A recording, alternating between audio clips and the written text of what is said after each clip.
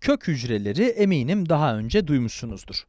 Kas hücresi, sinir hücresi, deri hücresi, al yuvar gibi vücudumuzdaki hücrelerin de bunlardan türediğini büyük ihtimalle biliyorsunuzdur. Hani böyle kök hücre nakli falan gibi e, haberler çıkar hani oralarda da duymuşsunuzdur. Bu hücrelerin hepsi gelişim sürecinde ortak bir kök hücre grubundan türerler. Sonrasında bütün hücreler özelleşir. Mesela bu kas hücresi kasılmayı sağlayan proteinlerden oluşur. Bu sinir hücresi sinyaller gönderebilir. Deri hücresi su geçirmez hale gelir. Ya da bu al yuvar oksijen taşımaya başlar. Bu hücrelerin hepsi bu gördüğünüz henüz farklılaşmamış olan kök hücrelerden gelişir. Peki bu tam olarak nasıl gerçekleşir? Aslında bu süreç çok ilginç. Size bunu bir benzetmeyle açıklamaya çalışayım. Bir kütüphane düşünün. Bu kütüphanede farklı farklı alanlarda bir sürü kitap vardır öyle değil mi? Ama sizin bilgi düzeyinizi hangi kitapları okuduğunuz belirler. Mesela başka kitapları okuyan birisi daha farklı konularda bilgi edinir. Fakat ikinizin okuduğu kitaplar da yine bu kütüphanede bulunur. Aslında DNA'larımızda da genlerimizde de benzer bir sistem var. Her hücremizin çekirdeğinde DNA'mızın yer aldığını hatırlıyorsunuz herhalde öyle değil mi? Demek ki işte bu da bizim kütüphanemiz. Vücudumuzda neler yapılacağının bilgisini kodlayan şey işte bu. Bu DNA kütüphanesinin içinde DNA parçalarından oluşan ve gen denen kitaplarımız var. Genler, farklı proteinlerin nasıl yapılacağı hakkında bilgileri hücrelerle paylaşır. Farklı proteinler de hücrelerin görünüşünü ve yaptıkları işleri etkiler. Böylece hücrelerin birbirinden çok farklı yeteneklere sahip olmalarını sağlar. Çekirdeği olmayan al yuvarlar hariç, vücudumuzdaki somatik hücrelerin tamamı aynı DNA'yı taşır. Buna rağmen, yani buradaki kas hücresi ve şu sinir hücresi aynı genleri taşıyor olmalarına rağmen, iki hücre birbirinden farklı görünür ve farklı hareket ederler. Bunun sebebi, iki hücrenin DNA kütüphanesinden farklı kitapları okumuş olmalarıdır. Yani protein üretmek için farklı genleri kullanıyorlar. Bu arada, bu noktada bir terimden bahsetmek istiyorum arkadaşlar. Eğer bir hücre belli bir geni aktif olarak kullanıyorsa, o hücre gen ekspresyonu yapıyor demektir. Gen ekspresyonunda kullanılan bir genin açık, gen ekspresyonunda kullanılmayan bir genin de kapalı durumda olduğu söylenir. Bunları size niye anlatıyorum? Çünkü bu durum en üstteki bu kök hücrelerimizin şu en alttaki özelleşmiş hücrelerimize dönüşmesiyle alakalı. Altını çizeceğim nokta şu ki, özelleşmek için, örneğin bir kas hücresine dönüşmek için, şu üstteki kök hücre, kas hücresi için gerekli genleri açık hale getirir. Burada kök hücresinin DNA'sını görüyorsunuz arkadaşlar. Ve bu işaretlediklerimde kas hücresiyle ilgili olan ve açık hale getirdiği genler. Bunlar açılırken bazı genler ise kapatılır. Şimdi buradaki kas hücresi genlerinin açık hale getirilmesinin sonucunda sentezlenen proteinler hücrenin görünüşünü değiştirir. Hücre daha uzun görünüyor, fark ettiniz mi?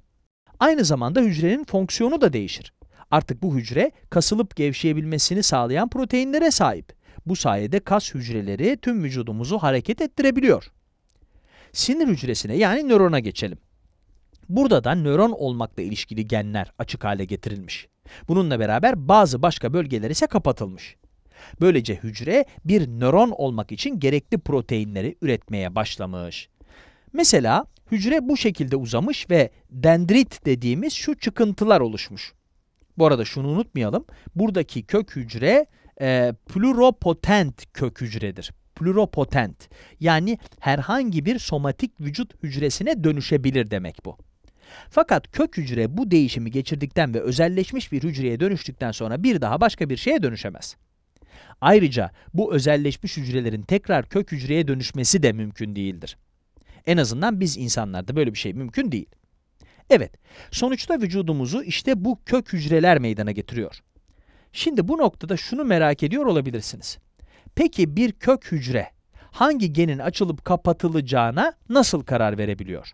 Ya da başka bir deyişle, bir hücre ne zaman ne tür bir hücre olarak özelleşeceğini nasıl biliyor? Görünen o ki bu hücreler bazı işaretleri takip ediyor. Bu işaretler içeriden veya dışarıdan geliyor olabilir. Sizlere e, bu işaretlere dair iki örnek anlatmak istiyorum.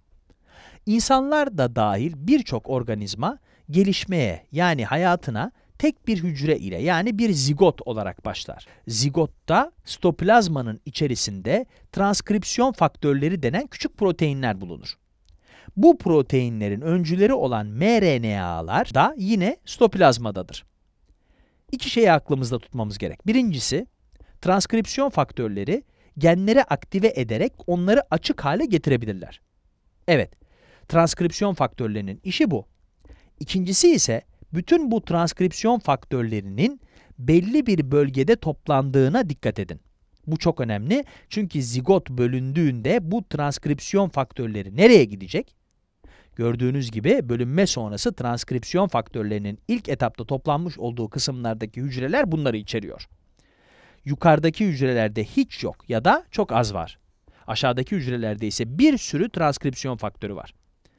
Sanırım şimdi farklı genlerin bu farklı hücreler tarafından aktive edileceğini hayal edebiliyorsunuzdur.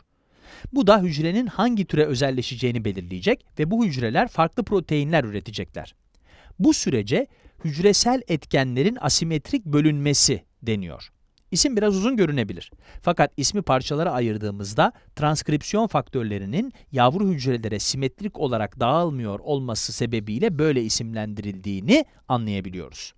Hücresel etkenler derken de hücrelerin değişmesine olanak sağlayan transkripsiyon faktörlerinden veya öncü dediğimiz mRNA gibi etkenlerden bahsediliyor. Bu hücrelerin farklılaşmasının bir yoluydu. Burada farklı transkripsiyon faktörleri sayesinde bunun olduğunu gördük. Size bahsedeceğim ikinci farklılaşma yolu ise indüksiyon.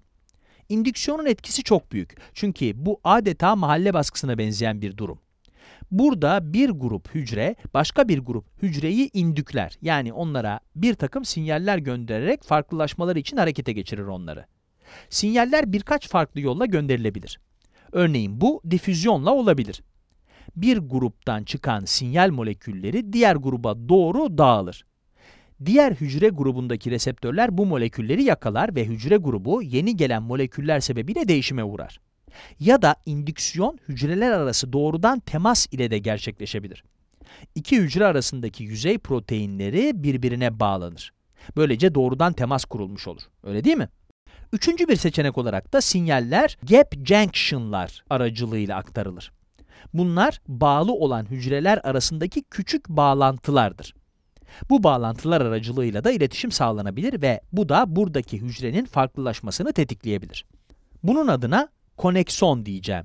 Çünkü moleküler biyolojide bu geçiti oluşturan proteinlere konekson deniyor.